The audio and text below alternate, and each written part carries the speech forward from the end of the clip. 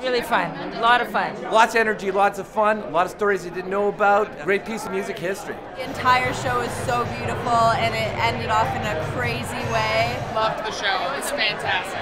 Great tribute to the Ramones. You want to go home and just go on Wikipedia and you know look it up. It was it was it was incredible. Absolutely phenomenal and a true winner, and I loved it, loved it, loved it. Loved the show. It was so great. Go to the show, but it's not a f***ing musical.